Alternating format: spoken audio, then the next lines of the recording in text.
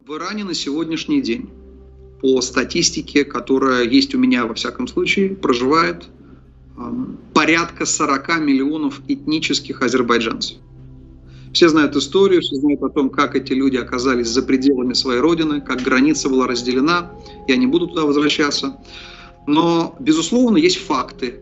Факты, которые я знаю от людей, живущих там. Идет национальная политика дискриминации этнических азербайджанцев. Им запрещают говорить на их национальном языке, запрещается изучать национальный язык, культуру, музыку. Что там говорить далеко? Даже на азербайджанских свадьбах запрещено играть национальную азербайджанскую музыку.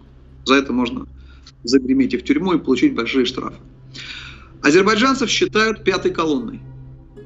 Политика Ирана по отношению к этническим азербайджанцам точно такая же, как политика Китая по отношению к уйгурам. То есть было бы хорошо, чтобы их не было вообще. Но проблема в том, что они есть.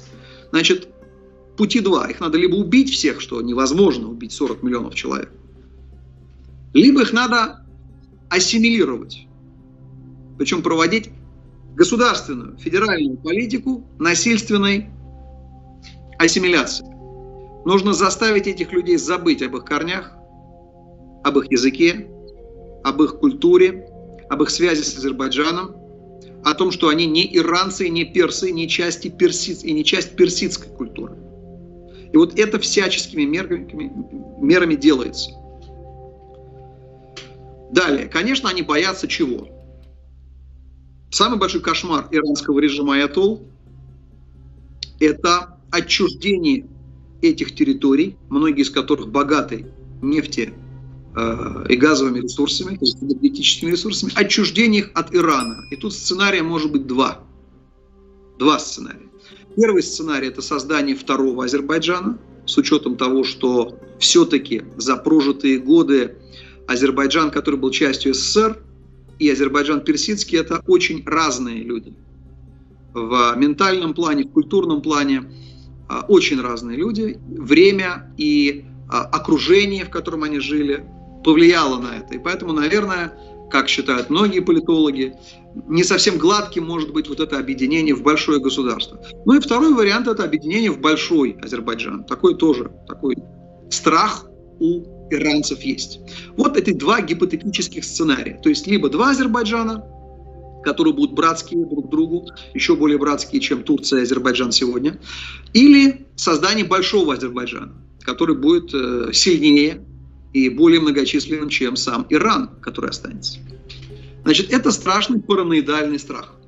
Поэтому что делает иранское руководство режима Аятол?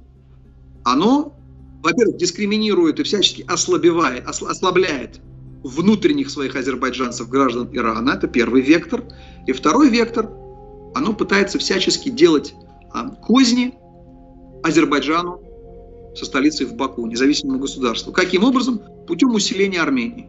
Армяне, являющиеся традиционным врагом Азербайджана, давно уже стали другом Ирана. У них супер кооперация в плане коммерческом и даже в военном.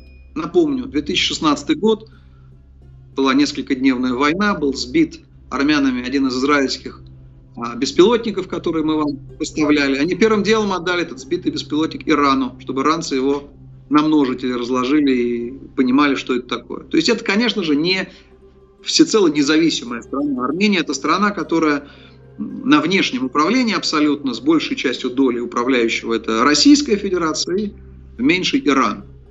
Тем не менее, это то, что есть. Значит, усиление, Иран, усиление Ираном Армении. Потому что пока Азербайджан будет занят армянским фронтом, пока у Азербайджана будет вот эта головная боль, пока вопрос не будет решен, а в Карабахе или еще как-то шире с Арменией, у Азербайджана, у Баку не будет возможности думать о том, что происходит с азербайджанцами внутри Ирана. Так думает Иран. Поэтому пусть головная боль будет эта армянская у Азербайджана как можно дольше – ее надо пролонгировать, ее надо подпитывать, как этот огонь. И они ее и подпитывают. Вот мы видели недавно, несколько дней назад, а, порядка 60 фур с горюче-смазочными материалами из Ирана шли на оккупированный еще Арменией вот этот кусочек Карабаха. Для чего? Ну, во-первых, это, конечно, грубейшее, вопиющее нарушение международного права.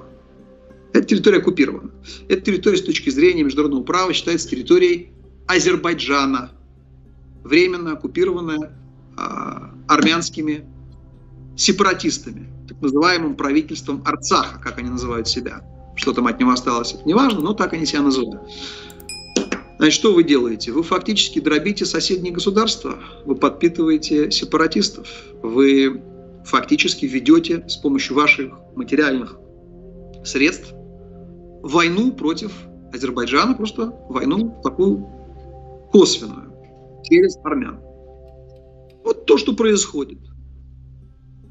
Я прекрасно понимаю позицию Азербайджана официального, который не хочет портить отношения с Ираном, во всяком случае не хочет усугублять, не хочет воспламенять. Это у вас самая длинная граница, более там 600 километров, если я не ошибаюсь, ваша южная граница.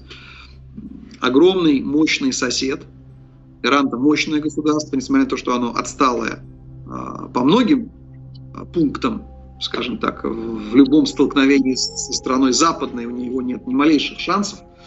Вот, это страна, у которой нет военной авиации совершенно. Значит, у них на вооружении стоят старые самолеты конца 70-х годов, которые купил еще Шах Пахлеви. Это корыто.